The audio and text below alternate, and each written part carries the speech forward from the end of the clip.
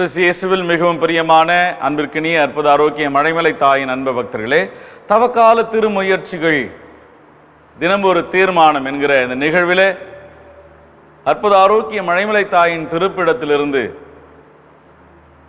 லூட்ஸ் தொலைக்காட்சியிலே உங்களோடு உரையாடுவது பெரும் மகிழ்ச்சி. இன்றைய தியான சிந்தனையாக இவர்கள் சபிக்கப்பட்டவர்கள் ஏனெனில் இவர்களுக்கு திருச்சட்டம் தெரியாது. அதை நாம் எடுத்திருக்கிறோம் நற்செய்தியினுடைய ஒரு சிந்தனையாக. தீர்மானம் என்ன செய்யலாம்? என்ன முடிவெடுக்கலாம்? எனவே நான் பிறரை ஒடுக்க மாட்டேன். பிறரை என் வாழ்விலே ஒதுக்க மாட்டேன். சபிக்கவும் மாட்டேன் என்று நாம் தீர்மானம் எடுக்கலாம். பிறரை ஒடுக்குவது என்பது சாபத்திற்குரிய ஒரு செயல். பாரவோன் மன்னன் இஸ்ரேல் மக்கள் எகிப்தில் அடிமைப்பட்டு இருந்த பொழுது அவன் ஒடுக்கினான் மக்களை என்று விவிலியத்தில் வாசிக்கிறோம். என் மக்கள் படும் துன்பங்களை என் கண்களால் கண்டேன். அவர்கள் எழுப்பும் குரலை என் செவிகள் எட்டியது என்று ஆண்டவர் சொல்லுகிறார். எனவே பிரியமானவர்களே வலிமையற்றவர்களை நாதியற்றவர்களை சட்டத்தால் பலவீனமானவர்களை பொருளாதாரத்திலே ஏழைகளை நாம் ஒடுக்குகிற பொழுது வதைக்கிற பொழுது ஆண்டவர் நிச்சயமாக பாதிக்கப்பட்டவர்களின் சார்பாய் நிற்பார். ஒதுக்கவும் மாட்டேன். முடிவெடுக்கலாம். இயேசுவை போல இயேசு வாழ்ந்த காலத்தில் பரிசெயர்கள் என்ன செய்தார்கள்? வரி தண்டுபவர்களையும் பாவிகளையும் சமாரியர்களையும் புறம் தள்ளினார்கள் பொது இடங்களிலே அவர்களை மரியாதை செய்யவில்லை. வழிபாட்டு தலங்களில் அவர்களுக்குரிய இடத்தையும் கொடுக்கவில்லை.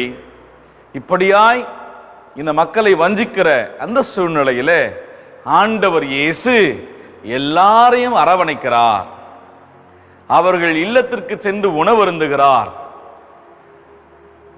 Table fellowship of Jesus is inclusive not exclusive உணவருந்துகிற ஆண்டவருடைய பழக்கம் அது மிகவும் புனிதமானது புரட்சியானது என்று சொல்லலாம்.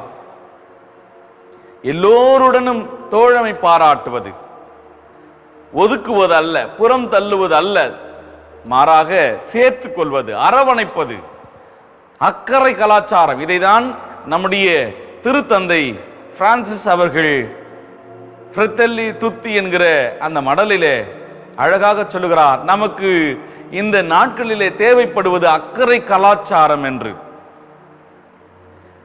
நாம் ஒருவர் மற்றவர் மீது அக்கறை செலுத்துகிற பொழுது அன்பு காட்டுகிற பொழுது திருச்சட்டத்தை நாம் அறிந்தவர்களாக நாம் இருக்கிறோம். எல்லாவற்றுக்கும் மேலாக கடவுளை அன்பு செய்வது தன்னை அன்பு செய்வது போல பிறரையும் அன்பு செய்வது. கட்டளைகள் இந்த இரண்டு கட்டளைகளிலே அடங்கி விடுகிறது. திருச்சட்டம் அன்பிலே சுருக்கப்படுகிறது. எனவே நாம் விவிலியம் வாசிக்கிறோம் என்று சொன்னால் கடவுளை எனக்கு தெரியும் என்று சொன்னால் கடவுள் மீது காட்டுகிற அன்பு அயலவர் மீதும் காட்ட வேண்டும் என்று ஆண்டவர் நமக்கு இந்த பாடுகளின் காலங்களில் சொல்கிறார் கண்களை மூடி ஜெபிப்போம். தாயும் தந்தைமான கடவுளே. நீர் நற்செய்திகளிலே நாங்கள் பார்க்கிறோமே ஏழைகளை ஏற்றுக்கொண்டது போல அரவணைத்தது போல தொட்டு சுகப்படுத்தியது போல உணவு கொடுத்தது போல.